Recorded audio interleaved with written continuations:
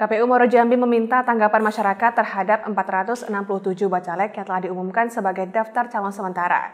Sejauh ini, KPU belum menerima pengaduan dari masyarakat tentang bacalek yang diumumkan.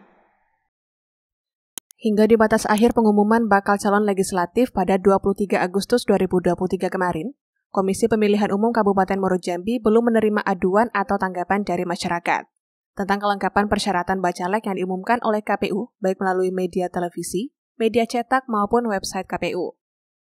Divisi Teknis Penyelenggara KPU Moro Jambi, Arisno mengatakan, KPU masih menerima tanggapan masyarakat tentang 467 bacalek yang dinyatakan memenuhi syarat atau masuk sebagai daftar calon sementara. Tanggapan masyarakat ini akan berakhir pada tanggal 28 Agustus mendatang. Uh, sampai saat sekarang ini mulai dari pengumuman itu dari tanggal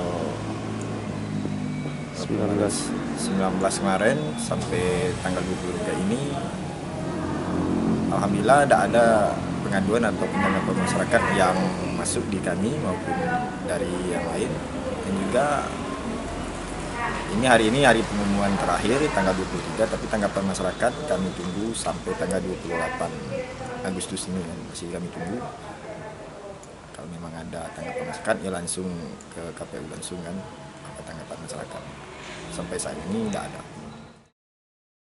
Selain dapat melaporkan langsung di kantor KPU Moro Jambi, masyarakat juga diperbolehkan untuk menyampaikan tanggapan melalui PPS yang ada di masing-masing desa. KPU mengingatkan kepada masyarakat, aduan atau tanggapan yang dapat ditindaklanjuti oleh KPU harus berbentuk tertulis. Artinya, pengaduan secara lisan yang disampaikan masyarakat tidak bisa ditindaklanjuti oleh KPU Moro Jambi. Dari Kabupaten Moro Jambi, Noval Hamzan, Baik TV Jambi, melaporkan.